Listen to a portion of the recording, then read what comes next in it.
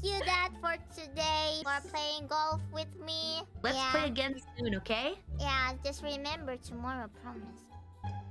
I I promise. I, I'll remember the boot. I'll remember the tweet. I know. And the present.